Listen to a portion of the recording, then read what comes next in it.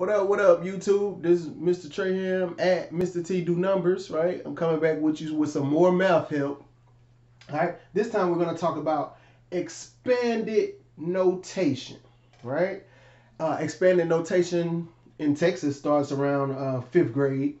Um, but you have early forms of expanded notation um, in third grade and fourth grade with expanded form, right? In fifth grade, you add the notation part right? Well, you know, expanding form means it's just separated by place value. For instance, 375 in expanded form is 300 plus 70 plus 5, right? So you'll start seeing the expanded portion in third and fourth grade. But in fifth grade, you get to expanded notation. The notation part comes in, and then in sixth grade, you continue notation, and then all the way up to high school, you got scientific notation and stuff like that right? So expanded notation. Um, I believe in teaching children what the words actually mean. To expand something, expand it. If something is expanded, it is stretched out, right? Think of it like a rubber band. When a rubber band is expanded, it is stretched out, right? So generally, when you're expanding something, you're stretching it out, right? Notation in this instance is number times the place value spot that it's in, right? So I'm going to show a number expanded and I'm also going to separate it by place value and inside the parentheses I'm going to put the number times the spot that it's in, right? So if you want three simple steps on how to do expanded notation, here they are. Step number one, make parentheses for every number except zero. Right? So if you have a three digit number and none of them are zero, then you need three sets of parentheses. But if you're here and you have a four digit number, but one of them is zero, you still only make three sets of parentheses. And the reason why you do that is because zero has no value. So things like expanded form and expanded notation, you don't need to put that spot with the zero in it because it has no value in that place. All right. So make parentheses for every number except zero. Step two, you're going to put each number inside the parentheses to the left. Step three, you're going to put the multiplication sign, which is going to be an X in this example. Put the multiplication sign after the number then put the place value spot in fraction or decimal form. Right? So we're going to do a quick example. This is 3 and 705 thousandths. Right? The 3 is my whole number and 705 are my parts of a whole. Right? They're my thousandths. Right? So step 1 says make parentheses for every number except zero. That means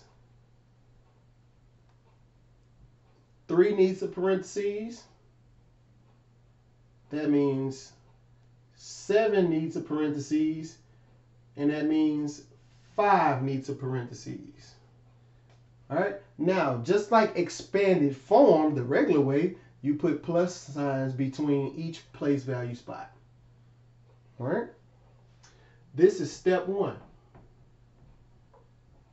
All right, I made parentheses for every number except zero. Again, zero has no value in the hundredths place, so you don't need a spot. Step two, put each number inside the parentheses to the left. So I'm going to put the three inside the parentheses to the left. I'm going to put the 7 inside the parentheses to the left. I'm going to put the 5 inside the parentheses to the left. All right? That's step 2. Step 3 says put the multiplication sign after the number. 3 times, 7 times, 5 times right? And the rest of step three says, then put the place value spot in fraction or decimal form. So sometimes when you're working out problems, you will see expanded form using fractions. And sometimes you will see expanded form using decimals. Now, I want you to realize fractions and decimals are the same thing. They are both parts of a whole. So when you get to the part side, you're going to show these numbers on the right side of the decimal point, either in fraction form or in decimal form. It does not affect the 3 because the 3 is on the whole number side. Both fractions and decimals are parts of wholes. If you're on the right side of the decimal point, you're on the part side, right? So it will always be 3 times 1 because the place value spot of the 3 is the one whole spot right? Now, 7 times the place value spot that it's in. Well, 7 is directly behind the decimal point, right? So 7 is in the tenths place, all right? If you're talking about money, 7 is in the dime spot, right? So it's 7 times the tenths, right? So if we were talking about decimals, it would be 7 times 0 and one tenth, right? And you know it's correct because the 1 is in the same spot that the 7 is in, directly behind the decimal point. So it's 7 times one tenth, right? Now, 0 is in the hundredths place and 5 is in the thousandths place. So it's 5 times 1 thousandth or 0 and 1 thousandth. And you know it's correct because the five is the third spot from the right and the one is the third spot to the right. All right? Now, this is the decimal version of expanded notation. Now, the this is step one through three in decimal form. Now, I'm going to do the same problem again, but now I'm going to do the fraction version of it. Again, sometimes you will see the decimal version and sometimes you will see the fraction version, right? So step one, I'm going to, again, make parentheses for every number except zero. That means three is going to have a parentheses. That means seven is going to have a parentheses again. Zero is not going to have parentheses, but five is. And again, I'm going to put plus signs between them. Now, I have successfully expanded the number. I have separated it by place value. Now, step two, put each number inside the parentheses to the left. Again, my three is going to be inside to the left. My seven is going to be inside to the left. And my 5 is going to be inside to the left. Step 3. Put the multiplication sign after the number. 3 times, 7 times, 5 times.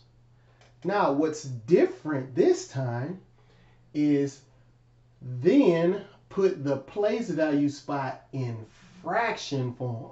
I've already put it in decimal form, right?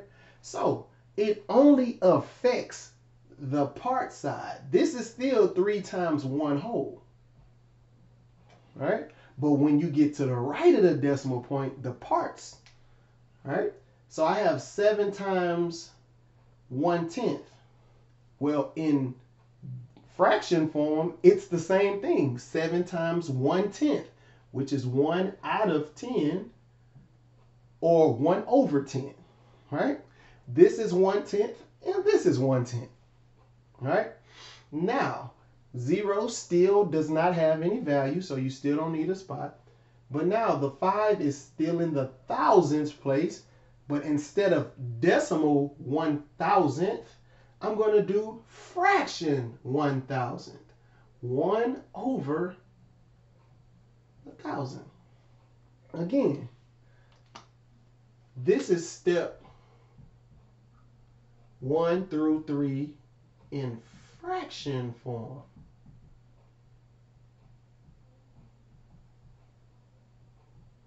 Again, expanded notation means to stretch out the number and you're notating it by place value. You're putting the number inside the place value to the left and then you're putting times the spot that it's in. All right. This is Mr. Traham again at Mr. T Do Numbers with your lesson for expanded notation. Peace.